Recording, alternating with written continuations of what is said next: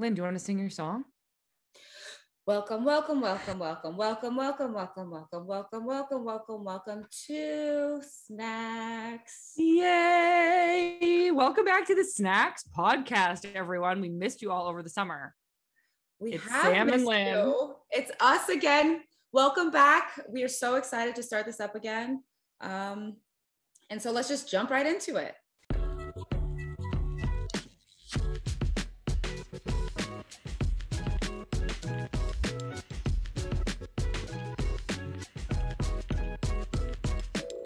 Yes. If you're listening to this podcast, you're probably aware of what's been going on within our team and the league. A big part of what this podcast is all about is having open, hard, and transparent conversations. But Lynn and I are still processing what happened. Uh, we've been focusing internally as a team and we've been supporting each other um, as best we can during this time. Um, firstly, firstly, Firstly, firstly, it's, it does, it sounds weird to um, laugh during this time, but Yes. If you're listening to this, you're probably aware of what's been going on uh, with our team and in the league. And a big part of what this podcast is all about is having open, hard, and transparent conversations. But Lynn and I are still processing what happened. Um, we've been focusing internally as a team um, and supporting each other as best we can during this time. Firstly, we stand with and commend Sinead, Mana, and all the players who have bravely come forward um, and shared their stories. We don't condone any behavior of sexual assault or abuse in any form, and it has no place in our league or in society. The strength of the women who've come forward has sparked a necessary systemic change to create a more open, transparent, and safe environment for players. An environment where players feel comfortable coming forward and where all people are treated with respect, integrity, and feel empowered to have a voice. Thank you all for listening and understanding that we, when the time is right, we will speak more openly. But it has been a very heavy week, and we are still getting through our thoughts um, together. So we want to reiterate to girls, women, athletes, people in general of all ages you have value and you have a voice. Yes. So thanks for your patience. Um, we hope to, again, talk more about this as the season goes on. But right now, we would love to talk about what we've been up to, what how the summer was, and kind of just transition into another thing this podcast is about, which is hopefully laughing and having a good time, which I think would be good for both of us. I couldn't agree more. Um, I think with the heavy week, we would love just to um, have some lighthearted time. Um, so take it away. I hope you guys understand that. So, Lynn, it is October. Um, we've had a long summer and half of the fall into since we've spoken to our listeners. So, how are you? I'm good. Yeah, that's such a long time. We have so much to fill everybody in on. Um, I don't even know where to start. Maybe we could start with just where we are right now. Um, Yeah. where are you? I am at home in Boston. Um, I unfortunately have had this little lingering knee issue for a while. So I got a scope to clean it up and I'm just still working my way back to being able to play. Um, I've been doing PT and training here at home. Um, I have Mhm. like just a really good setup here and and really trust the people that I work with. I've been working with them for my whole professional career. So um, I feel like it was the the best place for me to be to work my way back. Um, but I am more than ready to get back to North Carolina. So hopefully in the next couple of weeks, I will make my transition down there and keep working to to try to be able to play again um, soon. And Come to me. I know I miss my girls. I know Um.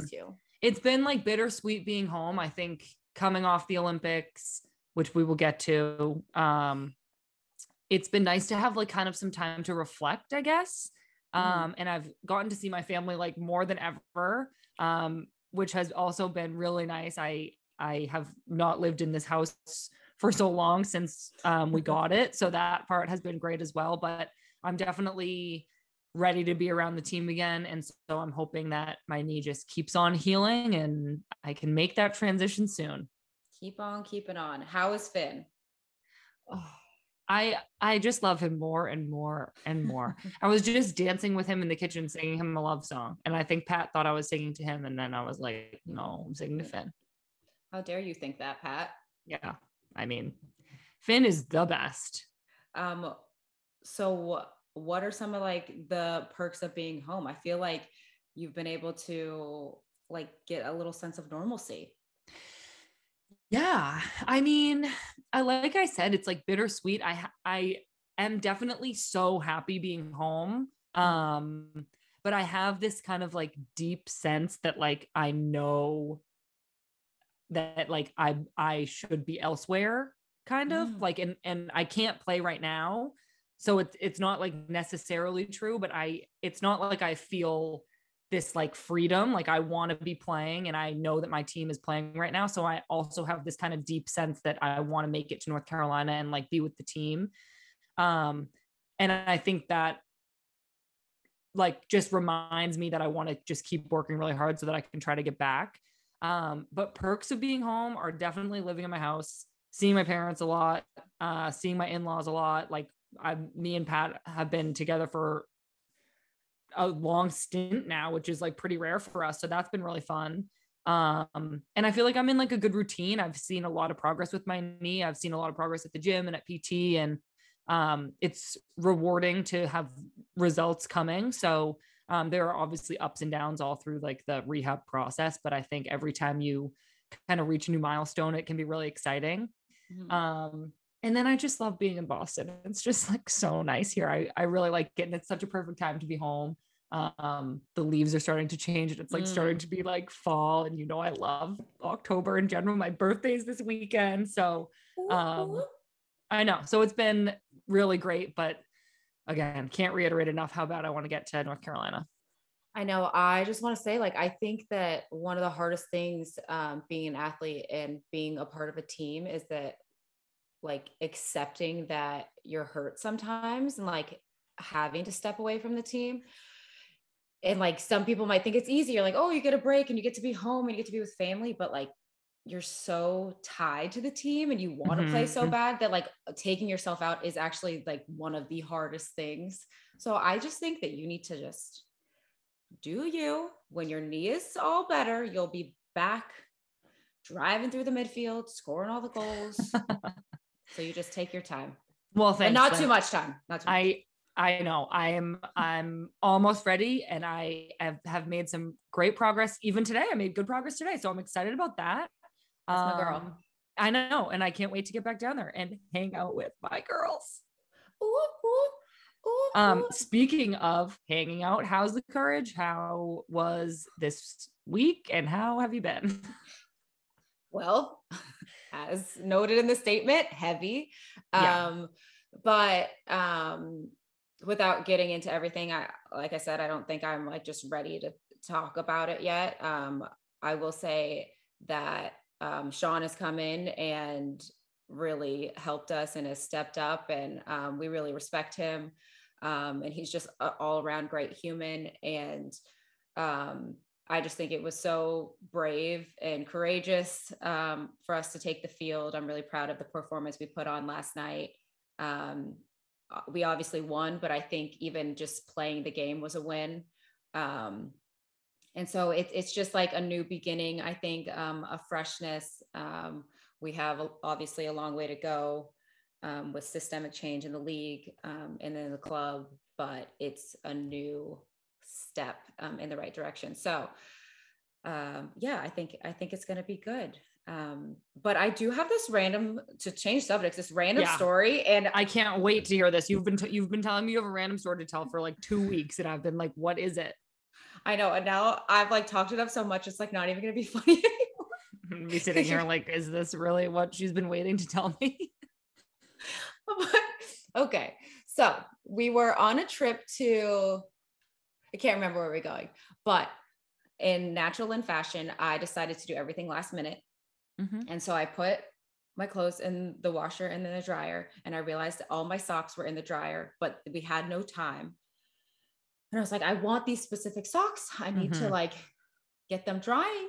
But I didn't want to take all of the clothes out of the dryer because they yeah. were like in that weird stage. And I was like, I can't take them all out of the dryer. I got this brilliant idea. I'll put the wet clothes, wet socks on a paper towel and I put them in the microwave. Sam, I put my socks in the microwave thinking thinking they were gonna dry them because I was like, oh, dry or heat, microwave no, it just got hot. They just got hot. yeah, they just got hot and steamy, and I pulled them out, and they were steaming hot. And you know what I did? I took those steaming hot socks and I shoved them in my bag, and I said, "We gotta go." That's did you my wear story. them? On, did you wear them on the trip? Yeah, of course I wore them on the trip. What the heck? See, Lynn, that is that's one of those things. Actually, I'm gonna say like that why you missed me as your roommate, but it's like if you had asked me that in the moment, I would have just been like, yeah, try it. And then we would have just had hot steaming socks together. So like I, I- wouldn't have even saved you from it. Yeah, I was like, this is a brilliant idea. And then the second I took them out, I was like, "Wh- of course they just steamed, like obviously. Well, yeah, otherwise I feel like anything you put in the microwave would just dry out. Yeah, I mean, it didn't make much sense. I get that now. Um, at the time, I thought heat, heat, heat dries things.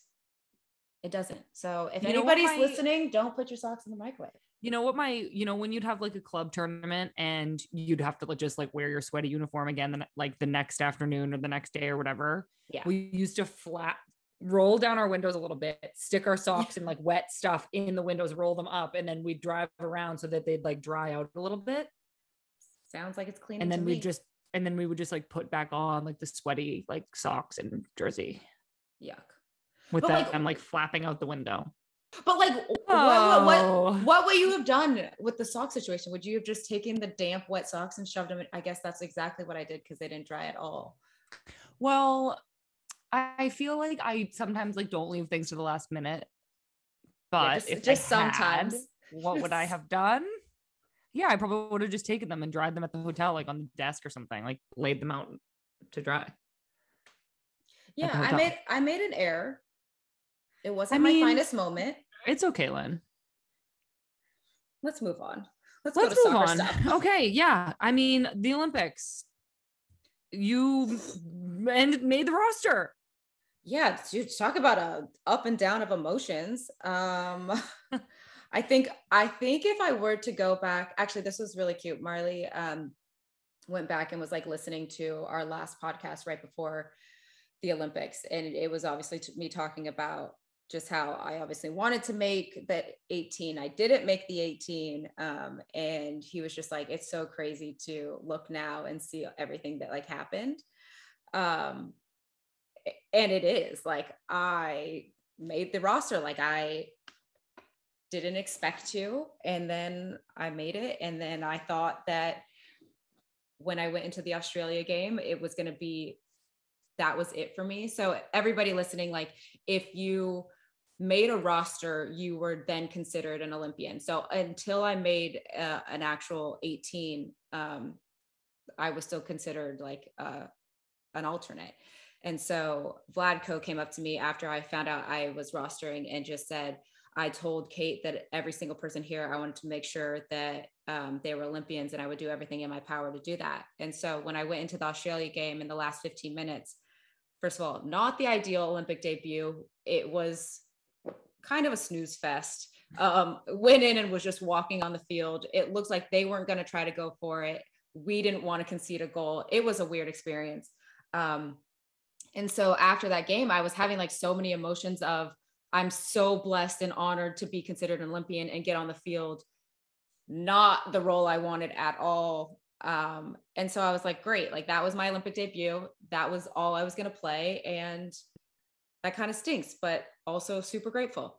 Um, and so then the next game, when we were playing the Netherlands, and uh, we had a team meeting before training, and he said my name as I was starting. And thank God I was wearing a mask because I was in so much shock, Sam. I was like, me? Like, I'm I'm starting. Williams? I was like, I think you messed it up. Um, so I was in such shock uh, that I, I was like immediately like, Lynn, you got to focus, like focus on the meeting, focus what he's got to say. Um, and, And then, then, the no- it happened. we played the Netherlands and we both scored a goal. I know. assisted mine, and I claimed for a minute that I had assisted yours until I watched the film and realized I actually didn't really, but still. But you challenged the ball, therefore making her head it down to me. So I count that as an assist. you lose every head ball you don't jump for. Well, not necessarily, but You know what you know what I'm trying to say. You know, and then say. you crossed me this beautiful little chip cross, and I dove. yeah, dude, you dove. You dove so your unlike me. you dove your head straight into the ground, but it was I great. did. I really did, and it went in. So I would say that was probably like one of the highlights for us was that game. We both scored. We did it together, and then my God, we had to watch the PKs, and we, you know, when you're screaming so much for so long and so loud that after the scream ends, your head hurts, but it's like you wait for it. Like you're like, yeah. And then you stop and you're like, oh my God, it's coming, it's coming. And then your head just throbs. Yeah, like being so anxious the whole time and then screaming your head off, going, putting, I just remember I had my hands on my knees watching the entire game. Then I would stand up and scream my head off, get a head rush, go, Yeah. oh my God, put my Yeah. hands back on my knees, watch it. And it just was repeated. I was like, Yeah. I think I'm going to have a brain injury. Yeah, it was it was very stressful watching, which and I mean, I'm sure it was also stressful playing and taking a PK. God bless those girls. God But- bless. Those of us on the sideline were Oh my god! And then Alyssa, I know we were like not supposed that we didn't have this to talk about, but like Alyssa stopping a million PKs, like I- what? I know. She's just such a G. Yeah, oh, sports, man, emotions. Yeah. Pa- man, passion. I was gonna say another something, but I couldn't think of literally anything. Tenacity, Keep it going. determination, Skill. mental fortitude. Okay, enough, enough. But yeah, the Olympics were. I mean, obviously, we didn't uh, win gold, but we won rose gold. We all decided we're rebranding. Um, actually, Pinoe came up with that, so um, that's cool. But yeah, it was it was, I think, such a unique Olympics, just with the pandemic getting pushed back a year, um, opening the roster up from 18. Um, the amount of times we spent on the bus traveling, like Yeah. Yeah. How we couldn't go outside. couldn't go outside. tell. It was definitely a unique experience. And I'm so grateful that I got to go. I think that having my 2016 experience where I was an alternate and never made the roster, um, really like put this kind of hunger to make an Olympic roster in me. Mhm.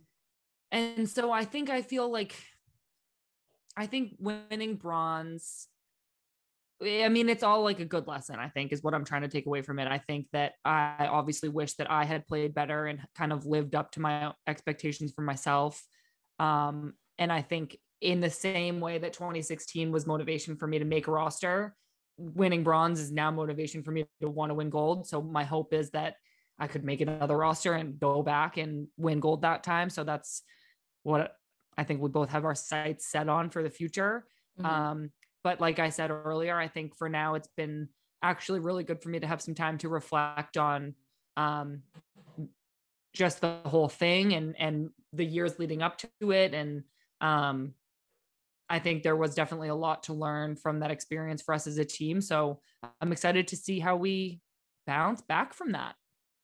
I know. I I think the same thing. Um, like you said, obviously super grateful to medal. Um, I Yeah. think that the scariest part of pl- playing in a bronze medal match is the fact that you might not medal, um, but also having the the opportunity to even be in that match. I think Mhm. everybody just needs to remember that like that's so not many people can say they're bronze medalists. Um, Yeah. but yeah reflecting and just like i i'm so grateful that they opened up the roster and i was able to play but i want to be on the roster and not have it opened up i just want to be on Mhm. the 18 i obviously don't know what they're going to do forward but Mhm. um and, and then i i want to win a gold medal like Me too, sis. Me too. Well, we have a bunch more Olympic stories and actually a bunch of random stuff that we got to talk about with Megan Rapinoe. We sat down with her a couple weeks ago to do an interview for this episode. Um, and we are so excited for you all to hear it. we talked to her about what it's like to be in the spotlight, to be a fashion icon, and her relationship with Sue, and tons more. Um, it was great. It was a great conversation, and we couldn't get her off the call. Um, we literally could not. We stayed on the Zoom and talked to her for like 30 minutes after. Yeah, it, like she, I, don't know what she's been doing, but she's craving communication. So I hope you guys enjoy um, our interview with her. I'm sure it was a mess, but it was also a beautiful mess. Beautiful, Lynn. Okay, here's Megan Rapinoe. And now we'd like to bring on this week's guest from OL Reign and the U.S. Women's National Team. Please welcome Megan Rapinoe. The queen herself. Put your little hey, crown ladies. on. Welcome to the show, Maggie. We're so excited to have you. Oh gosh, you call me So Maggie excited. It's just Oh, Maggie. LOLs. Are you excited to be on the show? Because when I asked you to be on here, you responded in 0.5 seconds. I'm very excited. I know. I'm Well, so we were we were brainstorming guests, and we were like, okay, like who's our aspirational guest? Pinoe. And then Lynn was like, I'll just ask. Asked, said yes. You're literally the first one we're doing for this this next group of shows, so we're pretty pumped. I love it. I think we're actually gonna like get into that later. How you must have. No, you must have so much going on. I know. I'm gonna just let him out the door. Lynn, I'm gonna leave it to you for one second. We'll Uh, bring him up here. Oh Yeah, probably just bring them up Oh no. because clearly they're Sam. wilding. Oh, oh, you can't get you can't go too far in this little room, buddy. Okay. Ben, Just an absolute nonsense all the time. Put headphones on him. on Finn? Yeah. And he can then he can hear his aunties. Yeah. Hello, Hi, Mr. Finn. sweetie. Is that Mr. Hello. Finn? He hears you. He's the Hello. biggest boy. Well, you shut hear- him oh, right he's being very good. Do you have anything to say? I'm freaked out. Oh my God, he loved that. He did love love that. Okay. Well, back to the serious podcast. Okay, so anyways, P, um, do you remember the first time you met us? Oh my gosh. I mean, I feel like I met Sam like 18 years ago, which isn't actually possible, but I I did know Kristie before I knew Sam, but only by just a little bit, I think. And was all was an Algarve trip your first trip? I don't think so. I think I had a domestic trip before that. Or I came to practice a couple times in LA first. I do remember one of my very first camps though. They had me playing outside back because I was just the utility. I was playing wherever they needed someone to play, and I was I was starting to dribble down the field, and I go, ah, I'm good at dribbling. I'm just gonna dribble on down the field. Pinoe slide tackled me, stole the ball. I'm laying on the side of the field, dribbles down, crosses it, and the other team scores. And I was just like, I don't belong here. Okay, first of all, what were you doing at outside Outside back? back? Wild. The next wildest thing, which is wilder than you being an outside back. What was I doing defending like that? You def- you slid tackle slide tackled the ball away from me and dribbled down the field, and I went. Who do I think I, am? I, I mean, it was incredible. One of my first memories of the team. Just a rude awakening. Yeah, just like don't get ahead of yourself, Sam. Relax. You are a girl amongst women. stay, stay in the back line and do better. Um, Lynn, But do you think remember when you met Gino? I think it was at Algarve where I really. That's when Tom was the coach, right? Yeah. Yeah. Shout out Tom Sermanni. We love him. Oh yeah. Um, Lenny. Oh gosh. I mean. I know, same, same. I have that same feeling. I don't really know. I think I remember one camp I came into, and like it was like you and Press and Carli, like we're all walking into the meal room, and I was, I was like, act cool, Lynn. Be Don't freak out. Be cool. Be calm. But that's like all I remember. Yeah, I, feel like, I- a blackout. I, I blacked out a lot of the jail years too, so I can't quite my finger on it. Um, it must have been like a January camp, or like Yeah. was it like during an NWSL season? No, it had to be in a January camp because, well, were you in that camp in October? This is way back in 2016. Well, not that far back for you, but way back for me. Oh my gosh, 2016. and I don't think you came into that October camp because I came in with, In Like- Utah? yeah, in Utah. Were you there? Oh yeah, I remember that. Yeah, that's my first camp. And I think Yeah, you guys were I- like, this is wild because there were so many new people. I think I came in with like 10 people Yeah. and Yeah. and everybody was like, Who are you? Teeny boppers. Yeah, that was the camp that like I had just come off my ACL after like 2015, yeah. coming back in. We obviously did terrible in the Olympics, yada yada yada. And then I came back, was playing fine in the league, and then um, Jill at the time was like, "I think we're just like you, we're you just need a little rest." I was like, "Oh, that's funny." I'm pretty sure I knew the opposite, but okay. But I wasn't there. Lynn for your first camp. How devastating for me. I know. For both of us. Yeah. Well, then fast forward to us and Crystal staying up till like 4 a.m. At, at, after the Oh Olympics my being God. by the elevators. having ourselves a ball. Lenny, I do always remember you had great style. Thank you. Yeah. Thank you. I can't say the same for you, Sam, but I I don't expect you to, but great we do we do have a hilarious style question for you, but it's coming later in the show. but it's Oh, just I like this this is like such a like telling moment the fact that sam we have very different skin colors and we're both wearing the same color beige Yeah. It's not great. it's not great. you guys, I Don't I bring I bring other things to the table. I don't care that much. You okay, Pinoe? So this podcast is called Snacks. We talk about personal stuff. What? How does it go? Soccer stuff, real stuff, fun stuff. We're just doing a little intro. Favorite snack that you would have with a glass of wine? Wine's not considered the snack. No, you're eating Hmm. something with the wine. I and what kind of wine well what kind of wine let's start Well, there I'm definitely going to be more so drinking either a sparkling wine or a sparkling rosé, champagne, whatever. Love that. Or if I'm getting into red wine, um, like a Pinot Noir or a Burgundy, which is the region in France that does Pinot Noir. I'm not a wine connoisseur, but Well, I just Tino, learned something. I do know new. that much. we're gonna have pinot with Pinoe Yeah. we should have And a snack to go with it. I mean, if I can have a full blown charcuterie board with meats and cheeses, fruits and grapes and like the whole thing. But like even just some really good cheese with the wine, boom.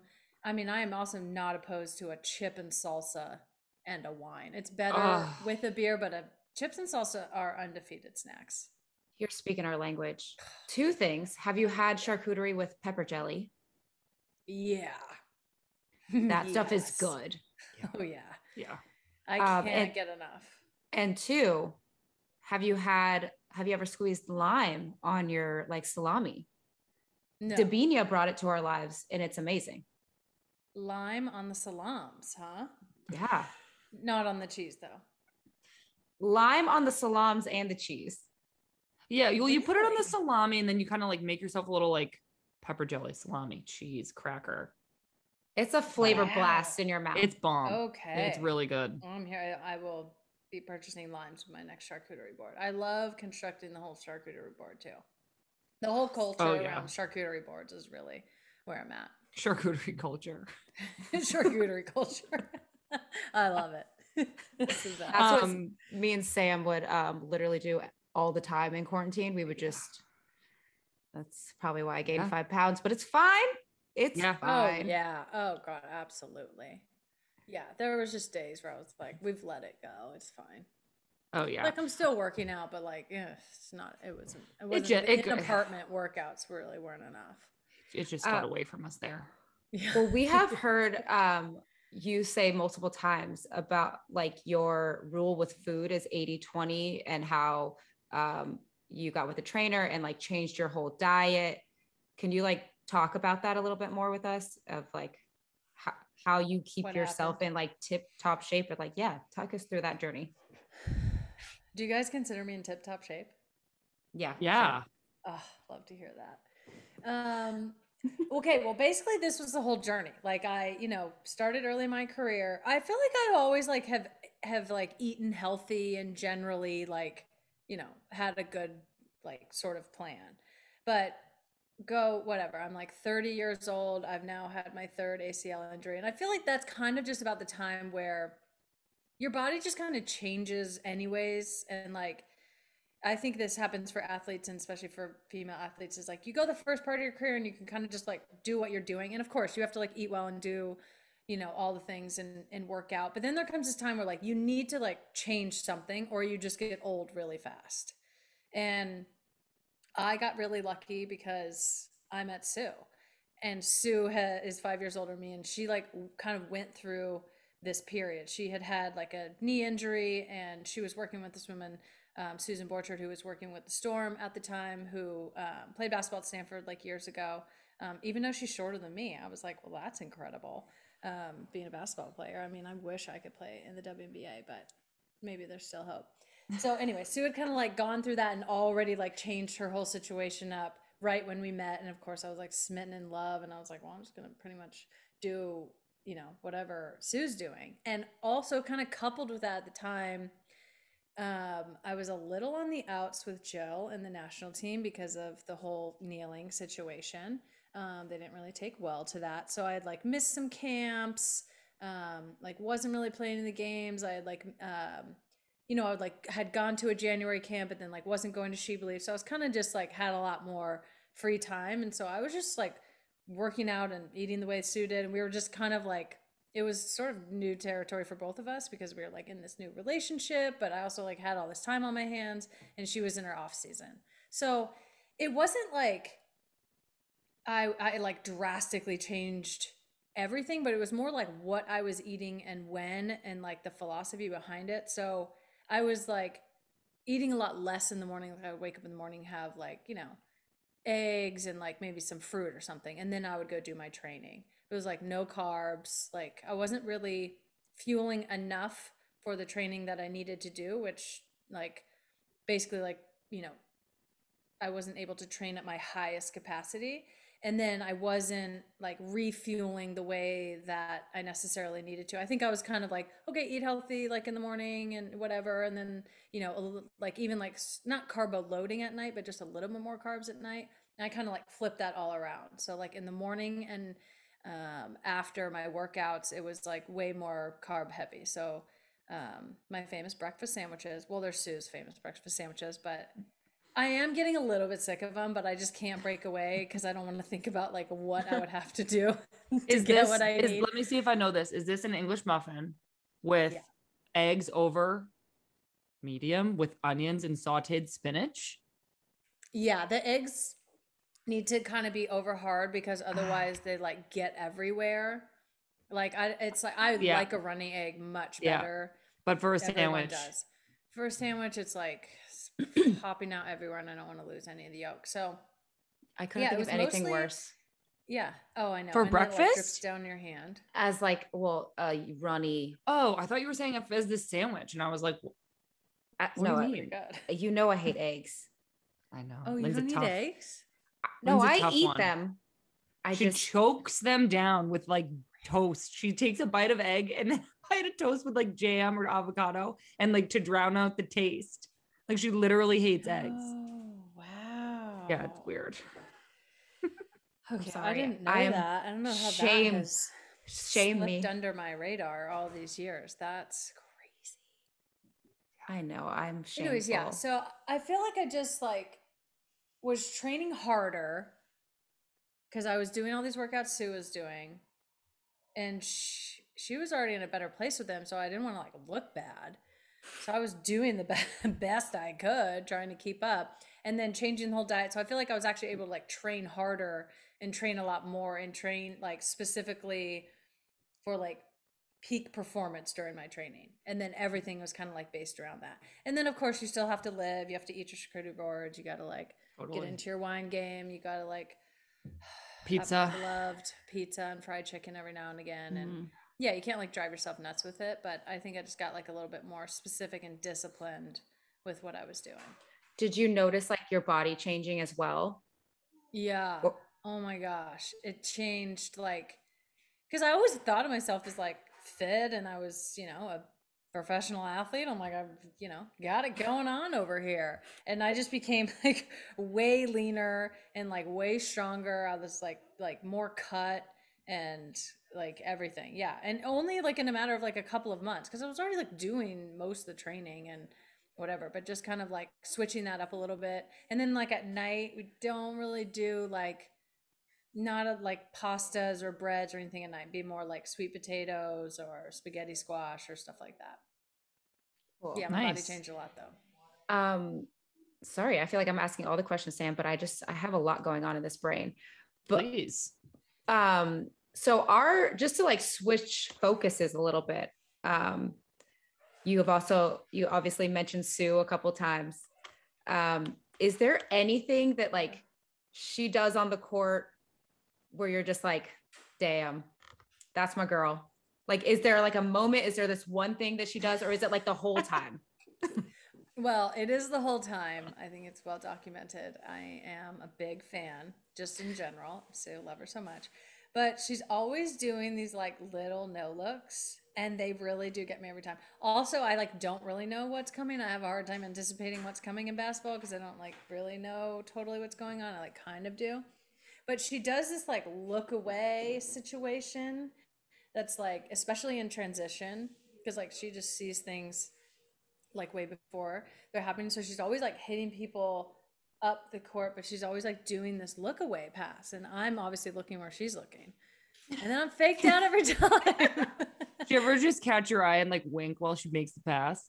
Finds you in the stands, does a no looker just she's, for you.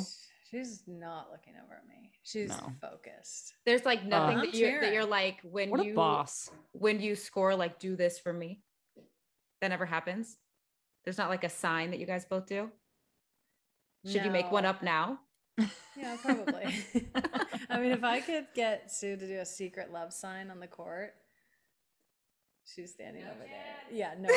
she says no. All chance. of the like, all of the dramatics and the like entertainer and the the sort of theatrics that I have, like Sue's like, that's so embarrassing. I would never do that. Just tell her like, to, like, she doesn't like, like say like you're you. embarrassing, but like she's just like sh- that would mortify her. She would never do that.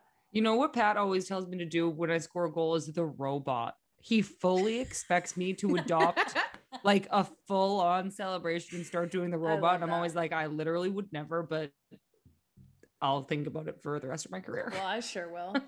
I know Mar- Marley always wants me to do something like that too. And I'm like, I haven't done it now. I don't know why. I, where am I going to pull that from? I mean, I it would be know. so funny. I've been wanting, you know, my teammates from basically my entire career to step up their celebration games, but you guys used to do cartwheels back in the day. Why did that stop? Yeah, we had some like fun, some like planned fun things going on. Maybe we should bring that back. Plan some fun stuff. I, I want to do the bowling one. oh, I, w- I would do that. We got to get All buy-in right. from everyone. All right. I'm. I mean, I'm definitely down to ask. Well, there's three of us, right, Lynn? Yeah, yeah. Maybe that's all we need. I and when I was playing in um Western New York, Western New York, I mean Western Sydney. Whoa. um, it was, we had a game on Christmas. And so when the person scored, they like sat on top of me like they were Santa and everybody else was like the reindeers. It was the funniest thing. We should do that if we ever have a Christmas game. Ooh, I hope we never have a Christmas game. oh, that's true. Also, you make a valid point. Yeah. But we can um, do a holiday specific. Going like back to uh, Sue's no look pass, don't you feel like you do that a lot though? Yeah, sometimes where you're like looking, but you're like doing this. You know, you're kind of like giving the side. It's like you're you're in your peripheral. Yeah, I feel you're like you do that all the time. Yeah, sometimes I kind of like. It's like I'm I'm like not looking anywhere, but I'm trying to see the the periffs going on. I'm actually blind. I'm not looking anywhere. actually, yeah, it's like it's kind of like one of those blank stares, but like I'm watching other things happening. I'm like, I hope they're seeing what I'm seeing, or maybe they're not, but I'm gonna put it there. I try. She's got some good. She's got some good no looks though, and in basketball too. There's it's like, like you're running these, like you're running plays and stuff. So I feel like people are more on the same page in that way, and you got these like short little. I wonder if That's I would have been a good passer. I probably would have had a lot of turnovers, but. um, okay, so let's like shift gears to more serious stuff um, because we'll come back to the fun stuff at the end. Um, Sam, do you want to ask a question? I feel like I'm asking so many questions. Yeah, I'm I- sorry. yeah, I am happy to ask a question. I didn't know where we were going with this, but I'm I'm I have my list now, so I'm confident and ready to rock Sam like questions. Sam like bought a ticket to the show and she's just watching. oh No. yeah, hap- happily would have bought a ticket to this show. Um, speaking of shows, Pinoe, you're so in the spotlight, like for especially the last couple of years.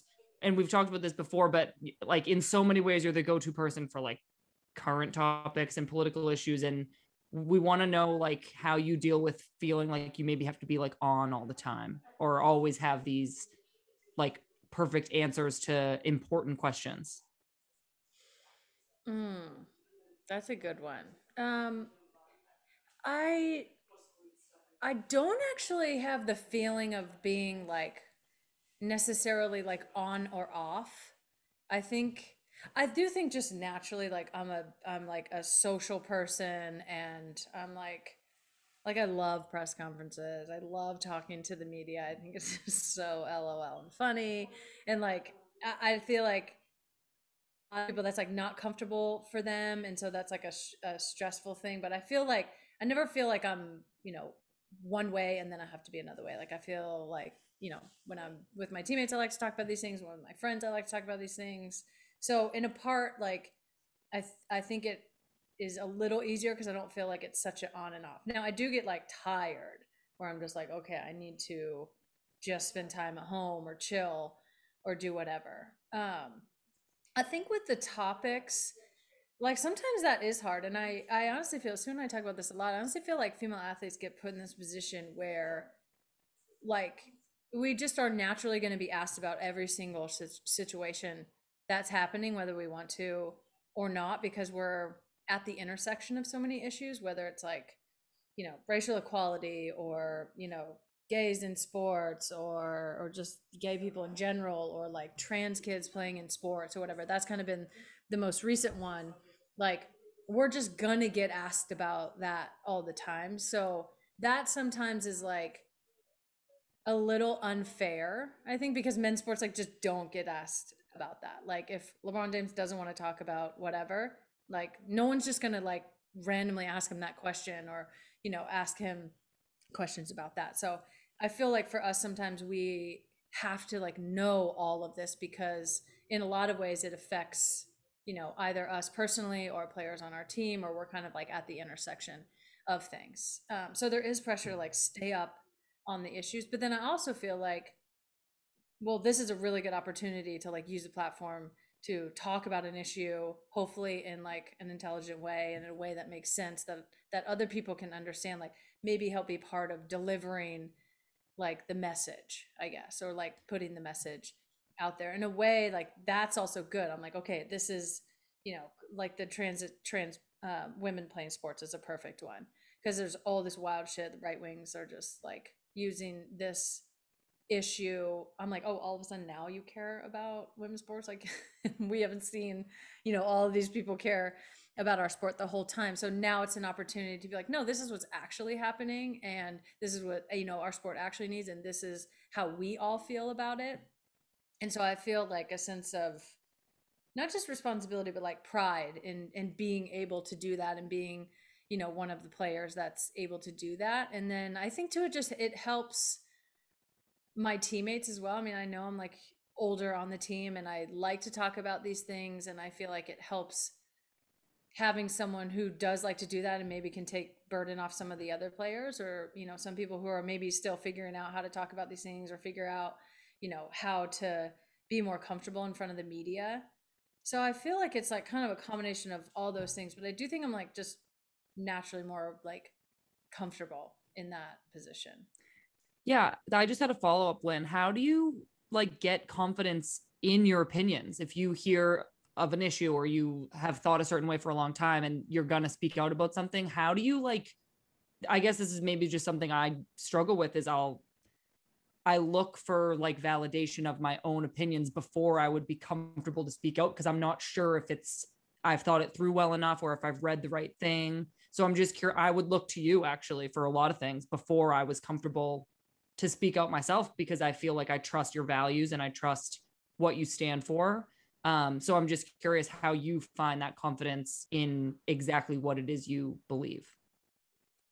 I mean, I have a lot of like really great people around me too, and that will just either talk things through with me or check me on things or like brainstorm together. Obviously, Sue, um, you know, is first and foremost like the most amazing one. I mean, we have like it's like whatever I say publicly, we've talked about like for a thousand hours, you know, privately with friends and other people. And then just like, you know, a lot of these opinions like aren't just mine. I mean, I'm I'm reading the same stuff everyone else is reading. I'm maybe just, you know, have the voice to say it louder or have the the platform to do that. But and then I think, you know, the the final thing is like like you do have to believe it. Like you gotta believe in these things. So I I feel like I always say like I don't know everything. I'm not the expert on this, but like this is how I feel from my perspective or, you know, the experience that I have in the world and like I'm, you know, welcoming other other opinions and like happy to talk about it, but I mean there's some things that I just think like it's not really an opinion or not. Just kind of like human rights are human rights and those are yeah. being um mm-hmm. trampled on or whatever, then that's just like a non-negotiable, but other things is like well this is just what I think about the situation and just use the experience that I have and all the people around me. Because I feel like I have good people around me too that would be like, uh, that wasn't really like, or mm, that's not really it, or think about it this way, or this is actually a bigger context that you need to think about this in. And so that kind of helps form everything, which then I get, you know, out in front of people and I, I do talk about. It. And I think that's the thing. Like I am willing to sort of talk about anything at any time but uh, it's because I'm like prepared to do that. And I think if I'm not, I, I would, you know, I'll just say that like I don't really know a lot about this or whatever, so I can't really speak on it, but I'll get back to you or whatever yeah. it is. But I feel like a lot of the issues sort of touch, you know, as women's athletes, female athletes, it's sort of like touches us anyways. Like our sports just at the intersection of so much, I think. So it's kind of like gives you a different perspective to be able to speak on it. Yeah. Um, you obviously have like been at the center of like so many sport women's sports changing moments um how do you like what are things that you brush off versus what you like take seriously like how do you navigate that world i mean i think i learned very early upon supporting colin and kneeling what to brush off and what to take seriously um, and i really mean that i mean i think i'm also a little bit older in the social media like landscape where I didn't grow up with it. Like I came to it much later. And so it is still kind of this like weird fake world that has very real consequences. So it's like this weird sort of thing. Um, but I think that experience, it just became so clear right away that like, okay, this is the, like, this is the game. Like, this is the cynical part of the game where no matter what I say, and no matter what I do, or Colin does, or anyone trying to change the status quo, this will always be the response.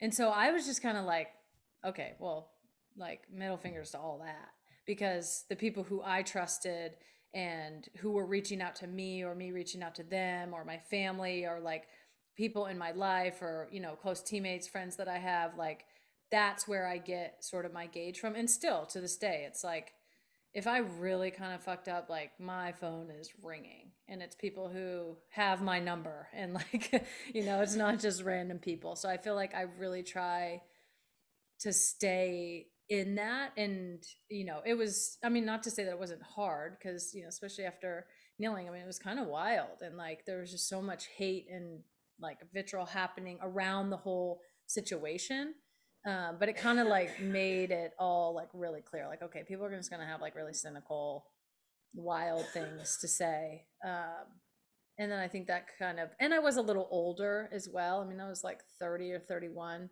by the time that happened and then obviously like you know thinking like to the world cup in 2019 with kooky Trump like tweeting at me. I'm like, this is so crazy. I'm like, I'm just like, but I think being a little bit older and like having that experience and kind of having my like tight knit group already just made me think like, like it really was. I mean, it was wild when he tweeted at me, but I was also like, this is so crazy, funny. Like this is, I'm like, this is not even like grammatically correct, and I don't get it. I felt like at the end, I was like, so you're into us? No. I don't So get you're paying attention?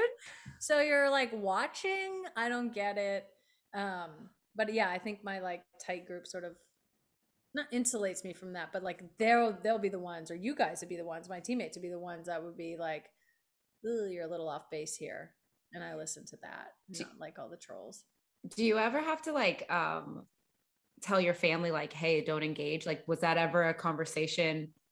Um, since you're so outspoken, Yeah. so loud, because I feel like with my like mom or my sister, they like feel so protective, and I'm like, do not engage. Like, whatever you do, do not engage. Is that like something you've had to do? Oh yeah, absolutely. well, I mean, thank God Mammer Jammers is not um, on social media and doesn't know how to use social media. I mean, still to this day, this is what she does. She wakes up, has her coffee, who knows, she talks on the phone, whiles out. But then she gets on her computer and goes to her Yahoo browser. And she like gets in her search bar in her Yahoo browser, which I don't even know what that's run by, probably Bing or something. And she Googles my name to like No. find stuff like about what's going on but oftentimes like you know bad stuff will come up and i'm like mom that's like not i'm like who's the publication? Breitbart? You know it's like this isn't that it doesn't matter. But she's always like she she's obviously very protective and just wants me to be okay and i think like stuff with the president and stuff back when you know 2016 she was like worried for my safety and i'm like it's mm. okay i'm safe like everything's fine. My older sister she, she's like it's funny she actually wants to like while out on everyone and she's very protective but then she's always in my ear like you know keep kindness the first thing like don't go at people because it's just like the minute i go at someone it's like that's exactly what they want because it's like egghead on twitter that has like you know 13 followers and it's like I, you know you can't even though you want to get in there and do it but yeah so she would she would knock someone over for me for sure. For the longest time, my mom would see like someone had a, an account called like Kristie Mewis and she would like comment on my stuff. And my mom would be like, why is Kristie like not cheering for you on your stuff? Like, why did she say this? Why did she say that? I was like in, this was years ago. Mm. My mom's probably listening to this, but I was like in college and the, this person with this account wrote like go UVA when I posted a picture at UCLA. And my mom was like so upset. so upset She was like, Kristie, you can't give out your password to people. Like, why are you? And I was like, Mom, literally anybody can make this name and post about it. Why are you giving your password out like that? I know. I know. Kristie, we're gonna have to talk to Kristie about that. Her giving her password out. Oh. We're gonna have to talk to Kristie about how she has nineteen thousand accounts and why she has so I- many. and why they're yeah, I know it's it's crazy. And why they're Gosh, they're They're not, commenting they're on her not being sister. nice to her. You should have just like kept that joke running with your mom. I know. To this day, you should. I know. I know. This was all this was 10 years ago. Okay, just so for my mom's uh defending there. Okay, Pinoe. This is gonna be fun now. Thank you for sharing all of that. It was I'm Wait. having a blast. Wait, I, I before we get to the fun, I want to know two coming. things. Oh my gosh, go. Okay. Is there anything that you're struggling with right now? And how Uh, can we yeah. help? I feel like I'm struggling with like motivation, like general motivation. Hmm. And I feel like it's been a really long two years, but this year has been really hard because we like got to January. Well, I guess we got past January 6th, which is wild. We got to January and everyone was like, everyone's good, right? We're going to go back and do, try to do all the normal things. And it's just like we're all walking around with this like backpack full of I don't know, it's like a giant size backpack or we're like miniature people in holding the backpack.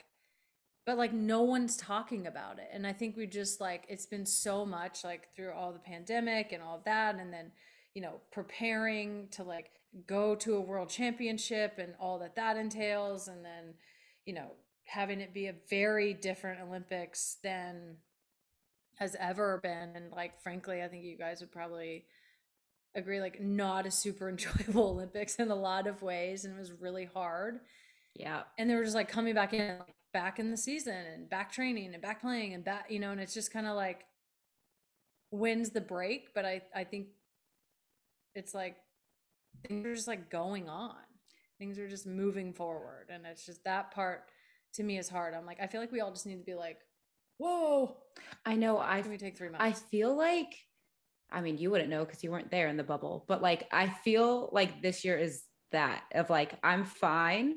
But the second I got out of that bubble, I was like, oh, I was not fine. And like, that's how I feel like this whole year is. It's like, I'm fine. I keep saying, I'm Mhm. fine. I'm fine. But I know the second we get to like whatever the new normal is going to be, I'll be like, oh, I was not fine during that time. Yeah. Yeah, yeah, exactly. Like I feel like I like I'm fine, right? You know, I'm not like, you know, falling apart over here, but I'm also just like, meh. Feels real like just Meh. yeah. It's like meh.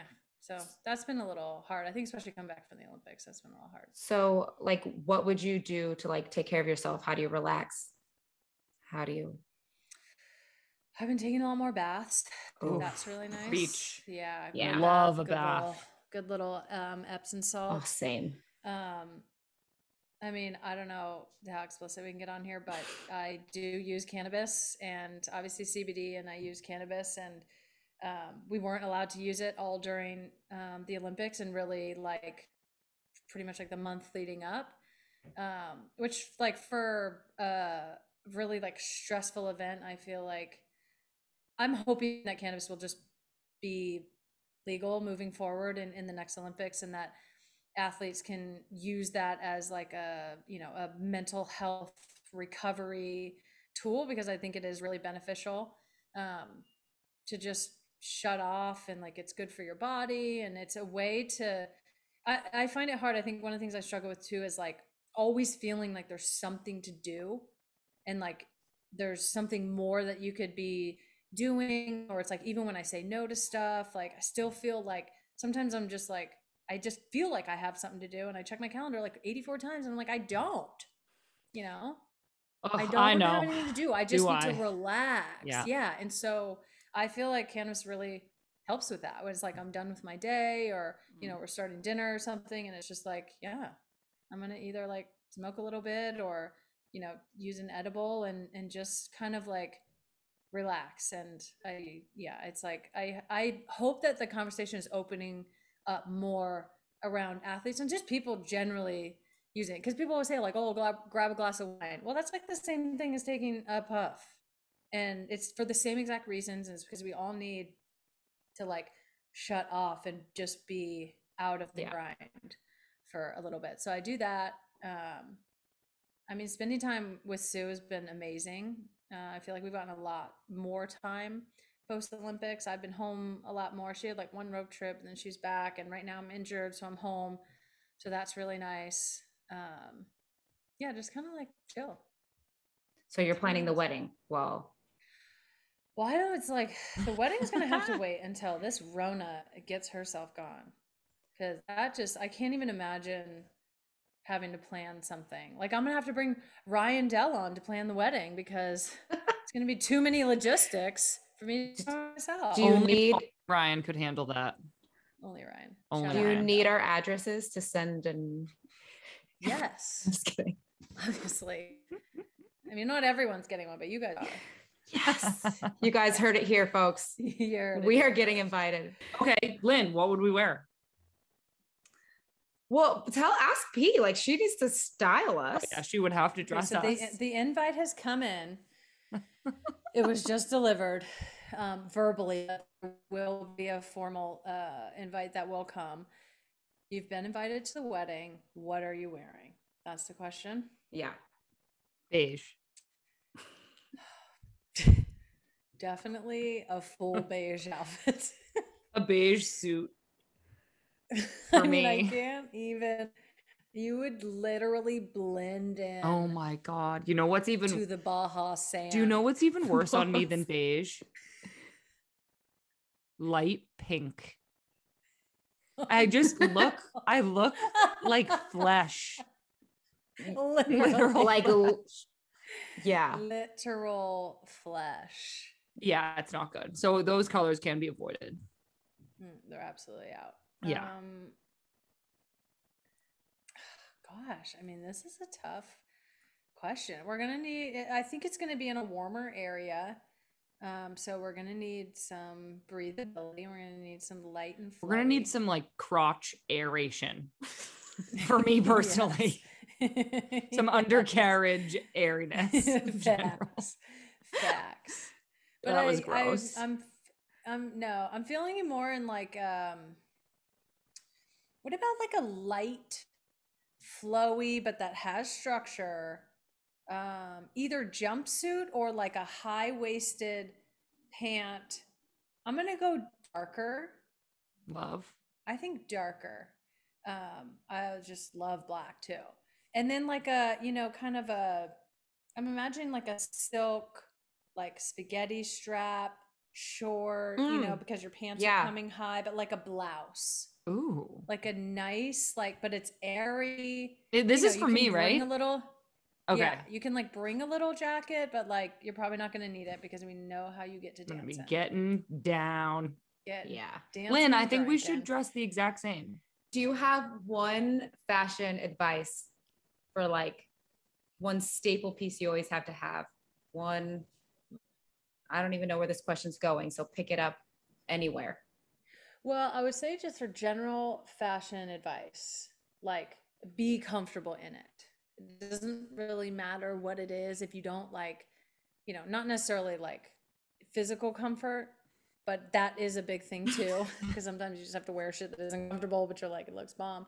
But like feeling good in it and like being comfortable wearing what you're wearing. Like it could be, you know, something as simple as like a, a t-shirt and jeans or whatever but it's like if you're not comfortable it's just not gonna like be right so like be comfortable in whatever you're wearing i mean staple pieces a good leather jacket which are hard to come by they are it's like there's a lot of them out there but they don't all fit right that's a good one Don't Um, have it. It's on the list. have it. I mean, a good, yeah, like a good pair of like blue jeans, Mm. like whether it's like Levi's or like, f- you know, 501 type boyfriend situations, like just a good pair of like go tos that you can wear with anything. Um, a good trench, good long coat. Um, I would literally die of a a- heat stroke with all these things. I know. So yeah, you guys, it's tough. Good vintage tees. Always there's just always in style. Um I'm trying to think what else. Oh goodness. Um a good pair of loafers. Wear 'em with anything. Loafers. Yeah. loafers. Yeah. What's even a loafer? I don't even know. What's a loafer? You know, like uh you don't know loafers? Like Yes, you do. You, Sam, yeah, you know, like a you slipper. tried. It didn't look good. Oh No. yeah, that my- that and if you that's what I'm thinking of, then yeah, that did not look good on me. But I got like huge calves or ankles, maybe or something. I don't know what the deal is. Same, same. Mm. It like that doesn't count I for us like, because she has like skinny little Yeah. like dainty. Okay, I see You're what not like saying. I a see you're what not like a wildebeest like us. I'll s- I'm- I'll speak for myself, Lynn. You are Well- beautiful Well, But- same, but like I have huge legs, so like it's. in a beautiful way. Thank you for the. I'm a wildebeest. I'm hairy. I have a skin condition. I'm huge. I'm big. No, you're beautiful. Loafers and are a good me. blazer, a good black blazer. Okay, Boom. done. All right, But I got really, some the shopping key, to do. the key to style and fashion, you just have to be comfortable, and then you can start to like build from there. But you got to get your like comfort base down. A lot of people Okay. like you know wear a lot of stuff or buy a lot of stuff, and it just like doesn't hit, and you're like, uh, Yeah, like not like really feeling it. brothers. Oh God. oh god. But it's like they have like their own. It's like they are very comfortable. Yeah, in so comfortable. wearing. It's just Not different. hitting. it's a lot of sparkles Yeah, and like stuff. It's a lot of flash. yeah, Yeah, like rhine. wild. Well, I don't think they're rhinestones, but like rhinestones. Basically. Yeah. Yeah. There's a lot of rhinestones. There's too many rhinestones. Oh god. Okay. Well, this is my favorite part of the podcast where we just pepper each other with random questions. So, Love. what's your favorite place to vacation? Ugh. I mean, Baja's pretty lit. Baja's really cool. Good food, so beautiful, dry heat, Good drinks. and good food, and great drinks. Oh, Yeah, I need to be. I'm gonna need to listen to this back and take notes on like almost everything she said. Um, got a got a bunch of recs for you. favorite designer brand. Hmm. Stuff. We, that's what we do here. We ask the hard hitting Mm, questions. Yeah, you really do. I mean, I always love a Gucci because they're like wild too. They got like wild stuff going on. Um, yeah, let's go with Gucci. Okay. Favorite fancy food or food? Sushi. Sushi can get real fancy. Oh, that's a good one. oh, God, I love sushi, and I do love fancy sushi. Oh yeah. I was like, just tell me it's expensive, and I think it's better. Great. Did you Um, like the sushi in Japan? Yes. Yeah, was so good. Yeah, it was so good. I wanted like 10 more times of that. Um, favorite restaurant in New York and in Seattle. Mm. You know, one of our favorite restaurants in Seattle we're actually going tonight is this just little place called Betty. And it's like right around the corner from us. It's like, it's just like your local like neighborhood spot, but it's just good. There's like good vibes in there. We know everyone in there. They have a cute little outdoor patio. The food's good every time. They have like a great baked chicken. They always have a good seafood on the menu. They have good steak frites, bomb burger. Um, they do like oysters and mussels sometimes. It's just like chill, really good. We love that place. Um, In New York, oh, there's a bomb place called Kiao. It's like a, I think it's like a Vietnamese ish um, with some other flares in there, but just all share plates. It's down Tribeca. Unbelievable. Um, yeah, that. Great answers. Will you always have purple hair now or pink Gosh. color variation? I mean, I don't know. I wish it just upkept itself, you know? Mm. It's a, just a lot of upkeep and it's annoying. It's like when I see you with blonde hair But- now, though, it's like, who's that? It looks like it was 20 great. years ago, I know. It's not great. I look like but it looked. I mean, it. hard boiled egg Oh no, you don't. a little bit, especially when I wasn't like doing my eyebrows in that much. It was just like monotone. But like, it's just, it's so funny because, like, at the time, it looked fine. I know. What's that about? And then it's like as soon as I went pink, I felt like I was like, oh, this should be my natural hair color. Who do I need to speak to? Because it's definitely not the the brown that's under here. That's for sure. So it's like I can't really. It's like I'm gonna have to do something drastic with my hair. So I might as well just keep it pink because I can't go natural. It's not good. okay. Dude, I'm with you. I my hair. It's just an end. I'm not going to complain about it, but it's just an endless battle to not be red. good. What are you gonna do? Just let it go red. Thank you, thank you, thank you, thank you. Okay, Lynn, why don't you pick one? Pick one more of these questions. I know you're going to want to hear about jewelry. Yeah. Bougiest piece of jewelry or jewelry you can't live without. All one question. Oh, well, those are two different answer signs. Are two different. The, the bougiest thing I have is um, a diamond Tiffany necklace that um, I actually did a shoot with my friend Carla, um, who's a stylist in LA, and um, she's amazing. And her husband is a photographer, so she did this like um, online, like for Instagram or something, this little like Tiffany's thing. So I did get a big discount, which I was very thrilled about. But I had my eye on this piece for a while, so it's like a really pretty. It's kind of it's rose gold and it kind of looks like more like old lady vintagey. It's not like it's not like a tennis necklace. It's not like bling bling, but it is. But it's like subtle. And the things that I can't live without are just all my little like, you know, the shop. Oh, I know. In North, North Carolina, that Carolina. Abby showed you. Yeah, Gold I The gold Wait. shop. yeah. I can't wait to go back there at some point. Like I'm, I'm loading up again. I still wear all of. Um, these aren't from there, but like this is from there. Well, this is what I wear as my engagement band now. It's the one that Sue's wearing. Um, I took off my own finger and put on her. Eventually, I'm gonna like. I just haven't found the something that's like That's adorable. you know amazing for an engagement band. Maybe it's just a gold band. That's from there. necklaces. Yeah, it's like he's got the best stuff in there. So all just like my little, you know, jewelry trinkets are. Okay. You got- Beautiful. got- Love you got that. that going on, big time. Then I love Not jewelry. me. Maybe someday. that's the best. Love jewelry. Yeah. Love, love, love. Good- Okay. A watch is a good investment if you want to get into jewelry. One one step at a Good time. We just got both of a big, we just got a Gucci bag. That was a big step. That is a big step. It's just But, we're, we're whenever not you there guys yet. Are going watch shopping. I have a lot of ideas. Okay. Oh, well, if I ever am going watch shopping, it's gonna be with you or with nobody, or I'm not going. or I'm not going and never getting one. okay. Okay. Let's well, when you go to the the man in North Carolina, please take me when you come. Oh, absolutely. Amazing. It's a date. He's the best. Okay, Megan, thank you so much for being on. We love you. We this love was you. like such an we are so honored to have you guys. Yeah, I just love you guys. this was awesome. We do have one request. If you could just say, if you don't mind, I'm Megan Rapinoe, and this is the Snacks Podcast from Just Women Sports. You got it.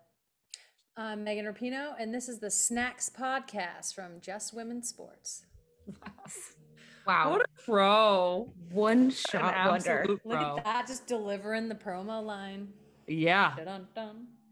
yeah. We we owe ya. We'll take you out to Nobu next time we're all together. Oh, I'd love that. You know, I love a bit of nobes. Oh, I know. Okay. One one last thing. We're gonna say our like do our whole goodbye things, but can we get a, a chomp from you? Like a Yeah, just one. as many as you want. Whatever your take is on it.